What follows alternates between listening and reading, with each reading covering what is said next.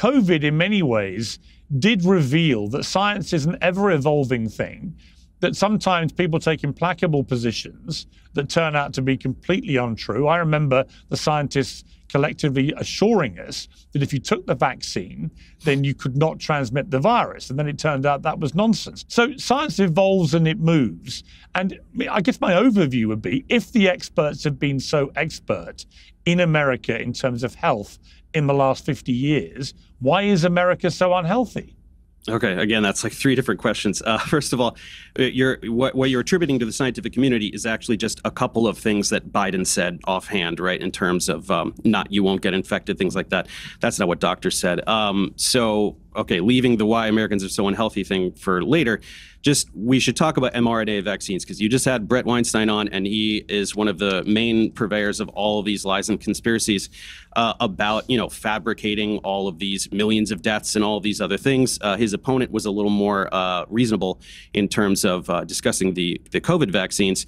So uh, in terms of like we, we absolutely cannot deny the efficacy and the success in saving millions of lives for these COVID vaccines, especially at this lightning speed in which they were mm. produced, where other therapies did fail. So uh, we we to talk as though that's not true is ridiculous. But then looking at this, uh, you know, 500 million cut uh, for future, you know, you had a clip of of someone else talking about all of these uh, other alternate mm-hmm. therapies that uh, we're not going to get anymore because this was cut. I mean, this is absolutely indefensible, right? There there is there is a kernel of truth to some of the rhetoric about the mRNA vaccines in terms of the um, it was the uh, the uridine pseudouridine the N-methyl pseudouridine swap, which is responsible for the spike protein uh, lingering longer than we expected. It's sometimes it's found six months later in, in muscle tissue and things like that. So that was a bit unexpected. But how you know how do you and and by the way, all of the side effects have been completely overblown by frauds like Bret Weinstein, completely fabricated. All of these, you know, the myocarditis and all this stuff,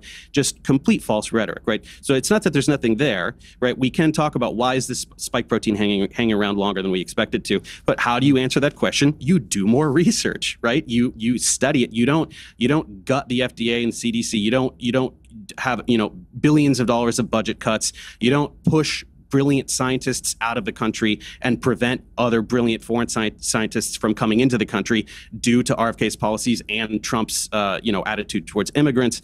It's just a complete mess. I mean, it's a deterioration of the American scientific community right before our eyes, and RFK and Trump, the Trump's administration, are directly responsible for it. That's really all there is to it.